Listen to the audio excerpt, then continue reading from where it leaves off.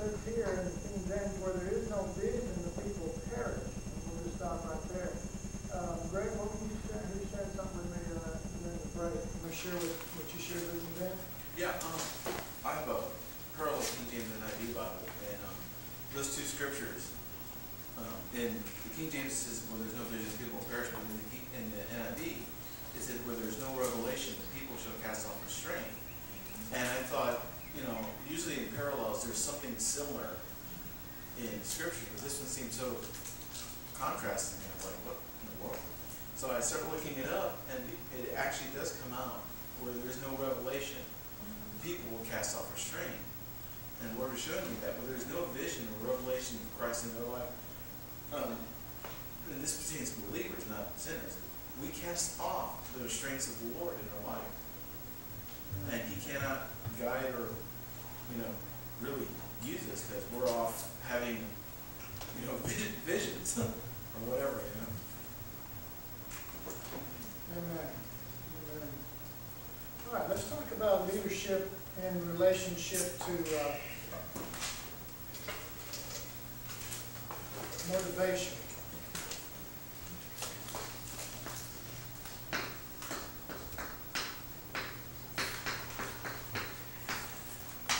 One of the uh, responsibilities or duties that a leader has is in motivating people. Now, the truth is, is that if everybody had vision and had really seen the Lord in the manner in which we're speaking, if everybody um, had a calling and found that calling, if everybody was walking in the burden that they have, would we still need leadership?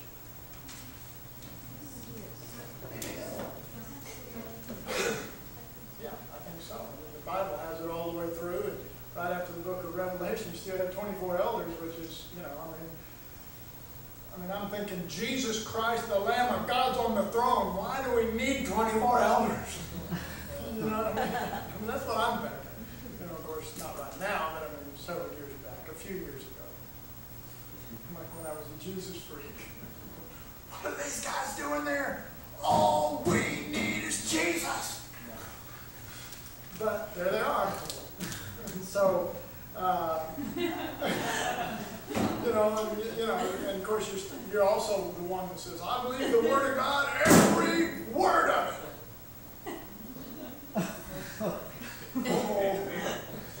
So what you do is you have to start adjusting to what the Scripture says instead of twisting it to say what you want it to say. Amen? And you know you can twist the Scriptures to say anything you want. So the goal would be, uh, no, Lord, I don't want to conform you to my image. I want to conform to your image. That's the goal. That's what you're doing. That's what you're working for. And so, um, so this thing of, of leading or motivating people, part of the reason is though, is that everyone has not come to a revelation of Christ.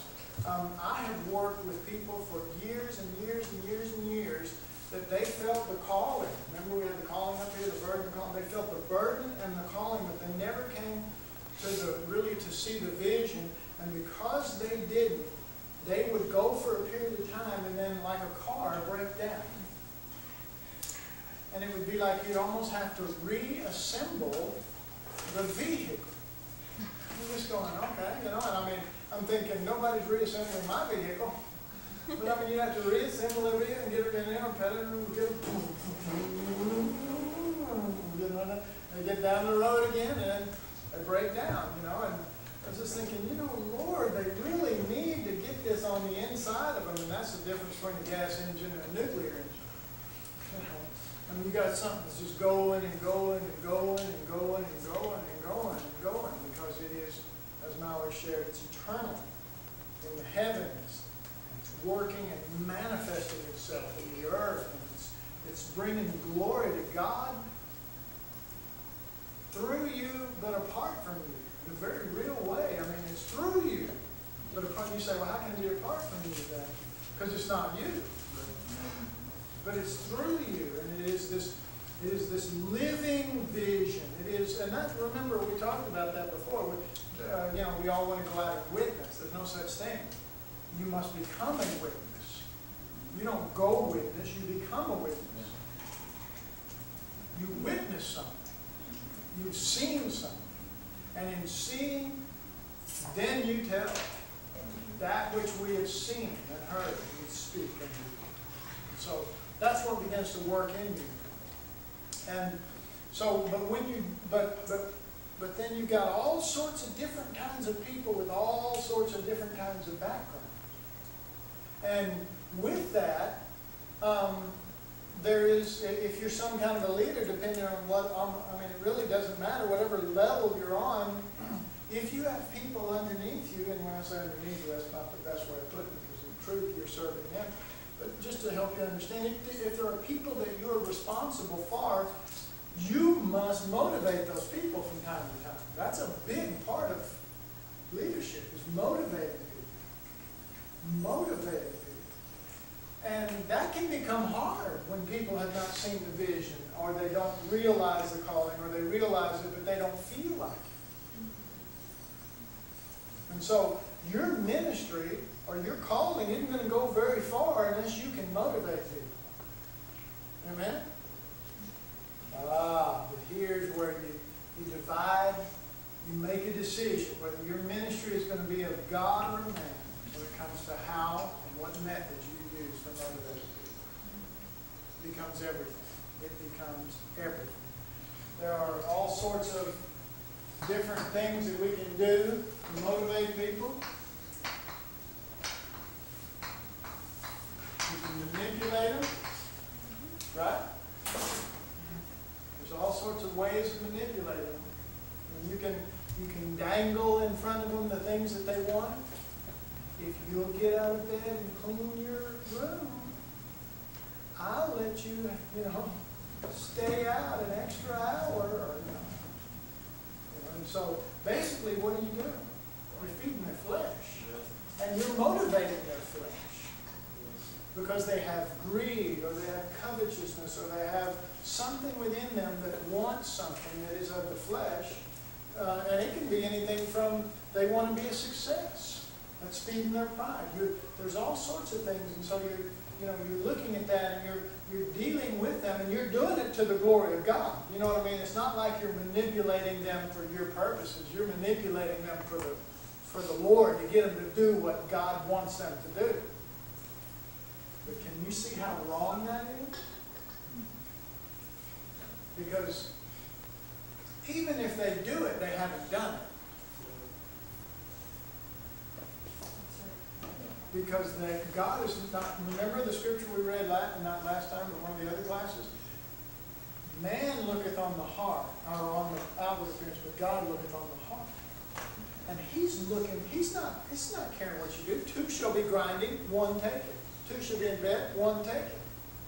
It's not doing the right thing because you, you know, it's the motivation that's going on. Why are you doing what you're doing? Not just do the right thing, you know, you know, do the right thing. Do the right thing and be evil on the inside, or not evil, but I mean, certainly self-motivated. You know, the example I've given over and over is, is two doctors. You know, one doctor, he is, uh, they're, they're both going through school, they're both staying up late at night studying, they're both spending money to get through school, and they both finally graduate, and one gets out there and he wants to help people, and he wants to touch lives, and he wants to see sick people get better, and he wants to see mothers have babies and be happy, and he wants to, the other one, he wants to drive a Mercedes, and he wants to live in a nice house, and he wants to be called doctor, and he, see what I mean? One of them may have had something happen, several somethings, when they were growing up, where they were not respected, where people didn't show them honor and stuff, and so they said, well, I'll show them, you know, their father or their mother or some teacher or something. I'll show them, I'll become somebody respectable. And I'll just, I'll just be honest with you, I was raised in an orphanage. And when I came to the Lord, you know, for the first time in my life, I was right. I was the black sheep of my family, and we lived in Oak Cliff, so how black can you get? I mean, I was the black sheep of my family, and, and I was in trouble, and I, man, you cannot imagine the junk. And so when I came to the Lord, it was like a whole new thing came in me, because I mean, everybody looked down their nose at me, and I was the bad guy. And all of a sudden now, I'm wearing the white hat. You know? And this is making me feel something that I didn't feel before. Well, you know. And all of a sudden I began to realize this, the Lord didn't do this to make you something. To glorify His Son. And, and so I, I began to see motivations in me that were not the Lord. Why I was, that wasn't the only reason why I was pursuing the Lord. I really, really found the Lord, and I really, really love the Lord, and I've continued to follow Him for that. But I had to drop off a lot of that stuff. And it's good that you do because sometimes you'll be respected and sometimes you'll be hated. Look at Daniel. I mean, he was raised, you know, way up there, and then other times he's down and out and he's in the lion's den. You know, it's all this, this back and forth thing. If you're serving God, it doesn't matter what your circumstances, right? Amen? It doesn't matter if people look, give you respect or, or disrespect you. You're doing what you're doing for the Lord. And so you cannot stop. You will not stop. And no circumstance is going to stop the living reality, the motivation of life that is working in you. Okay? So, you don't turn around and then start trying to manipulate people and you know and again I remember you know thinking well you know but you know we're getting them to do what God wants you know well we're going to we're going to have an evangelism thing. And so you start working on people and saying well you know you, you're you're motivating them by other means. Um, uh, how about flattery?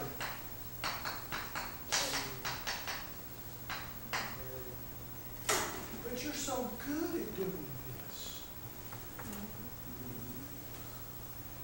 You're so good. You're the best person for the job why are you saying that about me? Because you're so good. Well, maybe the best person for the job is somebody who's not good at it at all. Could that be? Yeah, it could be. You know. And so there's, you know, there are scriptures that says do good to, you know, your brothers and da da da, that sort of thing. But flattery, folks, that's one of the strong, powerful motivations that in the book of Revelation it says Antichrist uses.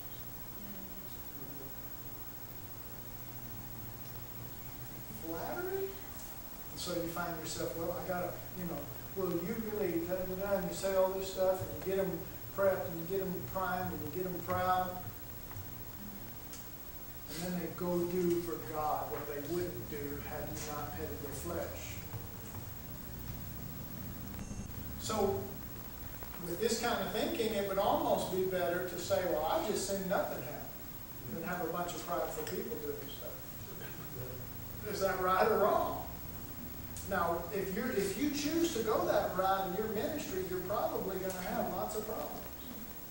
The best thing to do is find people's area in their flesh that motivates them and use it, and get them moving out for God.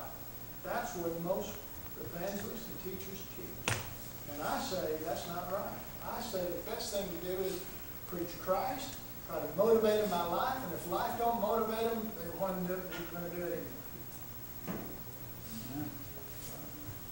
But you'll end up with a small group of people, and you know, you know, we can have the biggest, best church in the community if you'll give when uh, the name of our church is mentioned, everybody will want to come to our church. And if we build the best building and make it look really good and everything, well, that will make people say, well, I want to be identified with that church. Anybody see anything wrong with that? Yeah. Jesus was born in a barn. Those kind of people would walk right up and say, the Son of God's in there, and they go, well, forget that. They either say, I, you know, I'm too good for this, or you know, no, sorry, God would only have the best. He would not, the, the God of all creation and of the universe that made the most beautiful places in Hawaii and the most beautiful Grand Canyon would not have his only begotten son born in a barn. Well, you're wrong. He was. And if you're looking for the fancy place, then you're going to walk right past them and never even realize. Why? Your motivations are wrong. Amen? So we're appealing to things, and it works. It, it gets people motivated, folks. People will give big money to, to bolster their pride. I mean, their name's in this too. I mean, this is the church I go to. So they'll get behind it, and you know, big, rich, money people are going, yeah, yeah, let's just build the best and the best looking and everything, and, and you know, and, and we will have pride in our community. I was talking with Mike Gentry about this the other day. You know, the original church in the Bible was not a respected organization. Did you know that? It was not respectable. They were considered a bunch of renegades. Uh, and we were talking about the scripture that says, uh, avoid all appearance of evil, which really in the original says avoid all kinds of evil.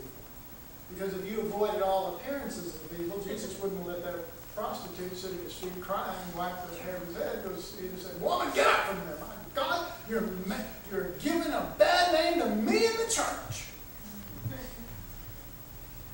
Amen? And he wouldn't have hung out with sinners. I mean, he led Levi to the Lord, and he throws a party, and the only people that can come is tax collectors and Romans and, and traitor tax collectors that are Jews working for the Roman government. Throws a party, and Jesus goes. Jesus goes to this party. And the Pharisees, of course, they don't go. Well, they do go. They go just enough to see Jesus in the party and condemn him. You know, he's in there and he's rubbed shoulders with sinners. You know, that's not avoiding all appearance of evil. That's not respectable. The church in the first century, during the time the Bible was written, was not respected. And so, the, the first church was very pure compared to our church nowadays. Because you weren't appealing. I mean, if you joined this church, like Stephen, you might die. If you joined the church, you would be thought as somebody who left your father's teaching and your family and everything. You left Judaism and you are a failure and a bad person. You ever think of it like that? See, nowadays you say, look, I mean, when I got saved, I went, look, I'm actually a good person now. Of course, I wasn't. Jesus is, there's none good but God. So you get my point? There are motivations that we're motivating people with, and we're trying to become an acceptable institution in the world. Jesus said, love not the world. Love the world shouldn't be upon you, da da da da, this and that, and everything. And so what do we do? We ignore that, and we use motivations to reach people. You know, we had a big church here for years and years and years, not very far from us, not in Denton, but in Carrollton, real close. And man, they had a phone bank, and hundreds and hundreds would come to the Lord every day and all this kind of stuff. And, and of course, the, the deal was, you know, come get saved and learn these teachings, and you'll be a great success. And you'll have the most wealthy business, and you'll drive the best cars. And so people say, oh, I want to receive that Jesus. Well, did they receive the one who was born in a barn? The one that was willing to die for us and wants us to be in his image? Let this mind be in you. What mind are we talking about? The gold crust, encrusted mind. No. you know? But this mind of being made as a servant, made like a man, you know, uh, humbling yourself, even under death, becoming obedient under death. That's the mind. It's the mind of Christ. It's not a, it may be a shame to the world, but it's not a shame to those who know the land. It's not a shame to those who love the land. It's only a shame to those who are seeking reputation or something else in this world. So, you know, flattery is one of them. I mean, you know, you can get right down to force. And, you know, I mean, there's different versions of this. I mean, you know, I mean, you don't normally see somebody walking over and grabbing your arm and going, you're gonna do it or I'll break. But there are actual churches that have done that before. You know, they have people walk in the aisle, and if you fall asleep, they hit you on the head with something. That's right, there are places like that. You know? And they say, you're, you know, you slacker, you sluggard, that's what the Bible says. You sluggard, awake thou sluggard. What?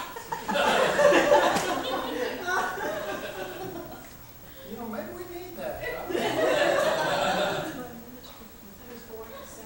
Feel the calling. What do you do if you're walking the aisles kind of going like this?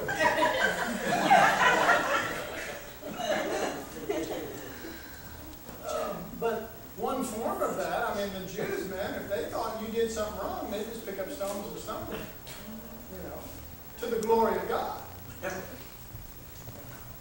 And so, but there are different ways, I mean, you know, there are different things. Uh, uh, one form of force can be what you call, uh, legalism.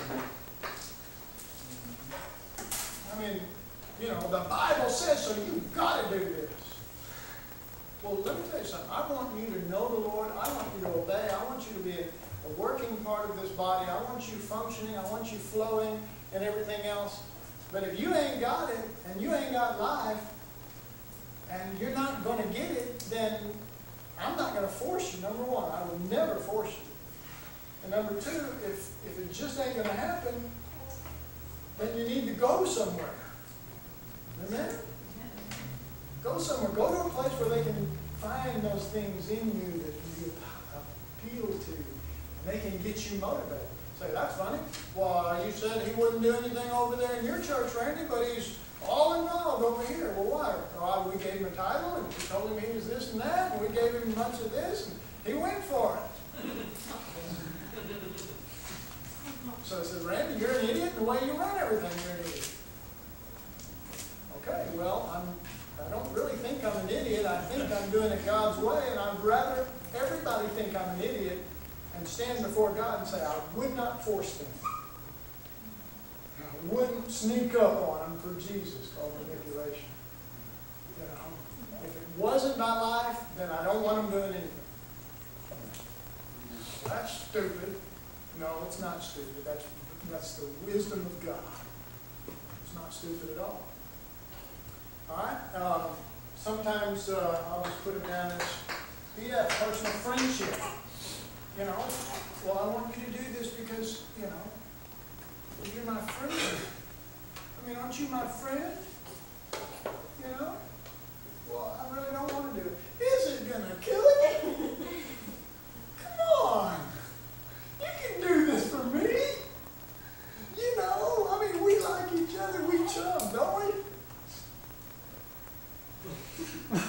Your turn. And, you know, and let me tell you, personal friendship is a tough one. It's a tough one. Remember the scripture we read yesterday? Uh, if the, you know, even the master of the house, he won't do it because you're their friend. He'll do it because he's bugging. Friendship's a tough one. And uh, a lot of people misread that, so that's one that I, you know, kind of worry about. Um, and then, of course, I mean, there, what's, what's another form of, uh, motivating people? Try to uh, appeal to their heart for the Lord, but it's a form of manipulation. If you love the Lord, you do this. Right? Yeah. And there is an appealing to their, their heart that will motivate them because they do love the Lord. But if you're manipulating people by that, it's just as wrong as using any of these other things. If your motivation is to manipulate them, to get them to do what you want, then that's just as wrong, I don't care how pure it sounds. Anybody else? Huh? Bribery? Like, Bribery. I don't know. No, I think you're right. I think, I think, I think there's a lot of that that goes on in the church and stuff like that. Um, there's different methods where, well, if you'll do this, then, you know, we'll give you this. And, yeah, you know, um, I remember one time, um, that a person gave a very large gift to the church. When I say very large, large compared to what we, what we, you know, five, six dollars.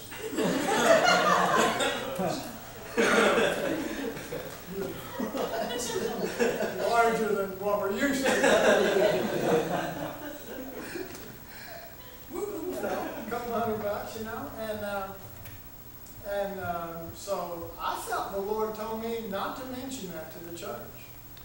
And that person got really mad, real mad that I didn't bring it up to the church, that they had given a bunch of money. And I thought, I think I need to give you this money back. Oh, you think they were mad before? Yeah. People get mad at me, and I'm telling you, man, I am, I am not mean. I am not a mean person. But I do shoot straight. Sometimes people don't like it when you shoot straight. And I said, I think I need to give this back to you. Why? You may be giving it for the wrong reason. Well,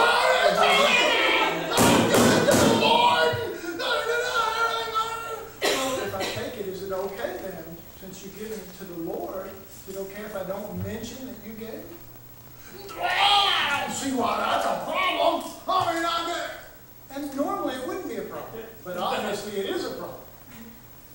So you understand what I'm saying? I mean, I don't mind acknowledging people and the gifts and the blessings and the things. I do not mind doing that, but I am not here to feed your flesh. I mean, that's really the truth. So, so if I perceive that, then I go, well, we're not going to do that. And then people get upset, and then they say, well, that, that Brandon. He's just mean spirited. I mean, he just, he just, you know, I gave all this money, and he wouldn't even acknowledge. Can you imagine this person telling other people, you know, well, I gave all this money, and he wouldn't even acknowledge it. What kind of guy would do that? Uh, Yeah, I mean, I'm telling you, you can write this thing, you can spell it any way you want, you can, you know, I'm just going, now I'm the bad person. But the, that- that's the deal, man. That's where you better know the Lord, and you better stand with the Lord, and you better know that you know the Lord, and you're doing what you're doing for the right reason, because when it all comes into question, and everybody questions, and nobody will receive your answer, God knows, and there's security, but if it's not right, then you got, you're on sand. You are on sinking sand, you know. And, and you can, you can fool yourself, and you can try to fool them, but eventually you're gonna go, "Whoa, I'm not just on sand, I'm in quicksand, it's just pulling me down. I mean, and it will. But when you know that you know that you stood up for what was right, you, not just for what was right, the Lord, and the Spirit of the Lord, and to do it in the right way, let them say what they will ultimately. I mean, nobody likes anybody, you know, taking a situation like that, twisting it. And by the way, I'm just gonna tell you, people twist things. And if you're gonna be a leader, you, we'll get into this later on, it's a tough deal. That's why you, you can't follow Jesus for people's sake. You do it for God's sake, for Christ's sake, in the gospel. You don't do it for people. You, you minister to people, but you're not doing it for them first and foremost. You're doing it for the Lord. And of course, that includes this body and their understanding of that body as a body, but not, well, I'm, you know, I'm doing this for Cassie and Molly. I mean, no, no, no. I mean, I'm doing it for the Lord, and it may benefit them. But I'm doing it for keeps you, I'm telling you, there's this, there's this little cage of, of right motives and of being in tune with the Lord and of staying with the Lord, that it keep you stable and safe when, when everybody else is unstable. And it's nice to have. So, you know, we talk about, you know, this is, this is a good subject to be on right now, motivation. Um, the example that I've given year after year is if you had an altar here, a clean altar, and, and what you do is you begin to pull out why you, why you question. You know, Cassie and I have a little thing that we call, any of you familiar with Norton, uh, Systems, it's a form of software? Anybody, how many of you? Several of you. Basically, it's a virus detection software, and it also can detect if you're having problems with the computer before it crashes. So it's got all sorts of bells and whistles. You put it in there, and, uh, you know, all of a sudden you put a disk in, somebody said, here, I've got a poem I want you to read, or you get an email, and da, da, da, and virus gets in there. Well, this thing is running, and it's checking, and it goes, "Ding," you have a virus? You want me to kill it? Yeah, and it's gone. So that virus is gone, you know. And it's always checking and pulling stuff up.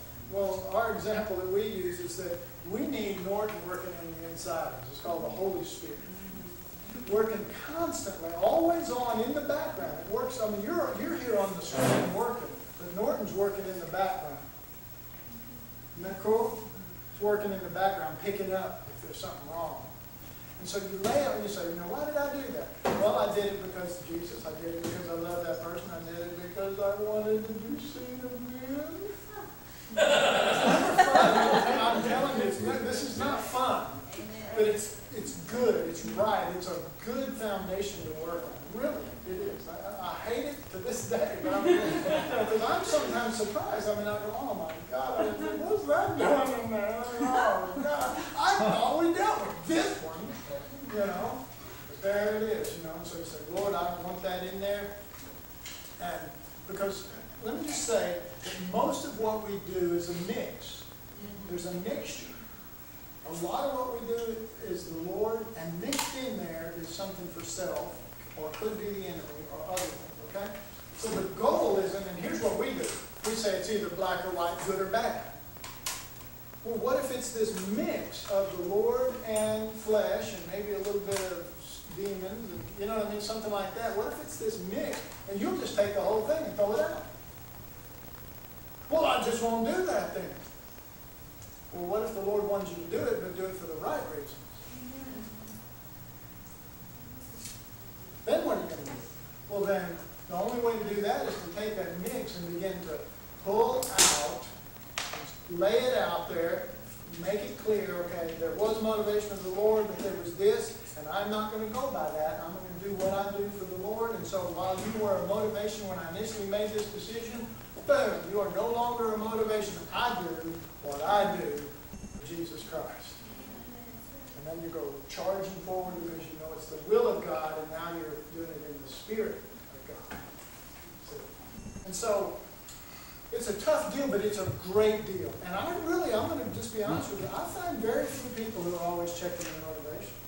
I, I know everybody does from time to time. I mean, very few that are just just regulate. I mean, it's like work. You're talking about working in the background, but in a sense, you've got go- something going on. But you're laying stuff out there, and you're going, okay, well, sometimes you're not even sure. You say, Lord, help me see that a little clearer. He begins to identify, but you you have to. Motivation is huge. Motivation comes from the heart.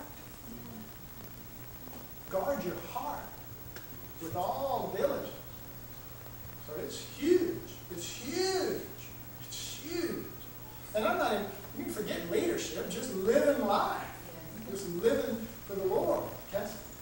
Um, something a little simpler about like the Norton, like when we, when the Lord showed us that, and we prayed that the Holy Spirit would bring that up, um, like in computers, most people may be able to understand more, like if you accidentally exit a program and you forgot to save it, a screen will come up and say, do you, you wanna save? You can't go any further until you choose.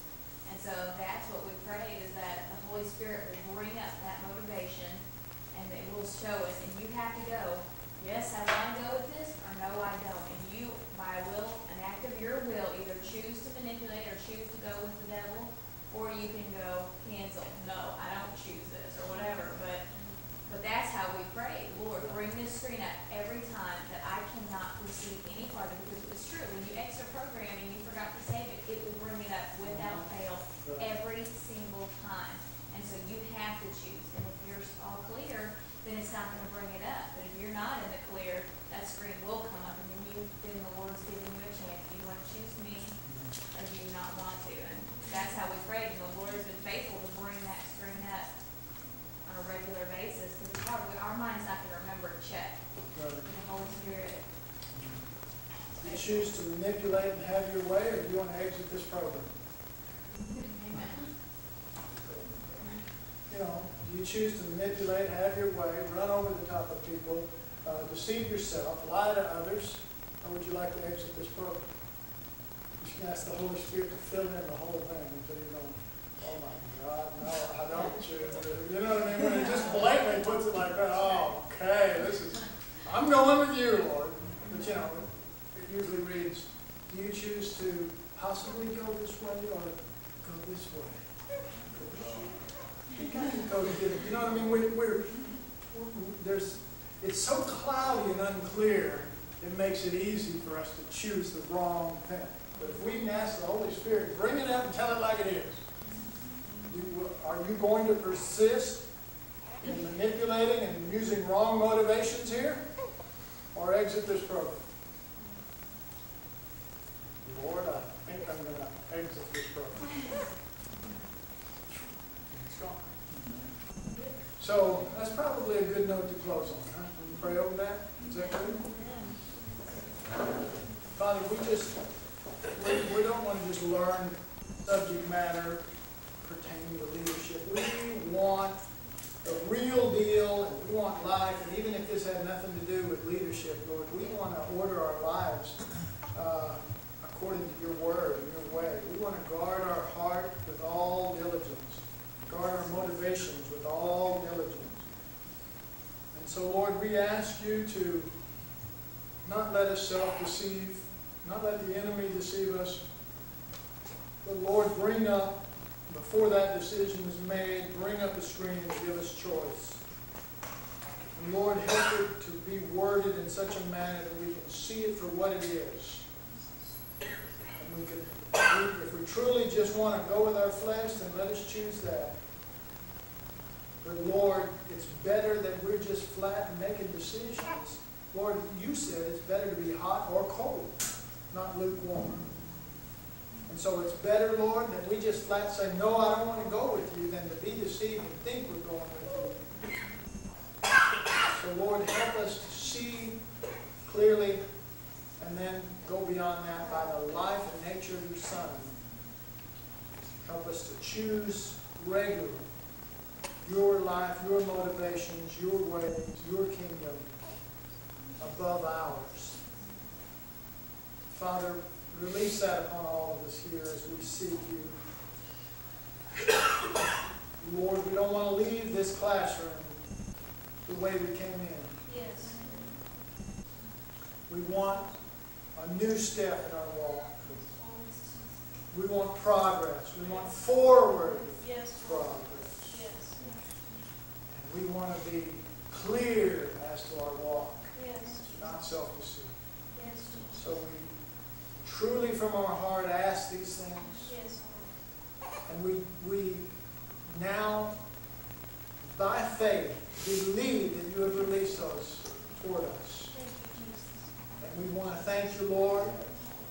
We want to tell you we have faith in you and we don't believe you brought these things up for no reason.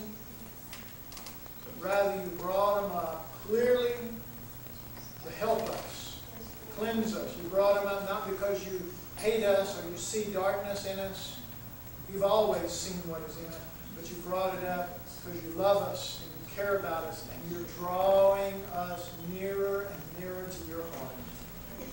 We thank you for your faithfulness. We thank you for your love. We thank you for persisting even against our own rebellions. And we go out of here with greater trust that you are at work in our lives to bring forth Christ and increase where he must increase, and we will decrease. In Jesus' name. All right.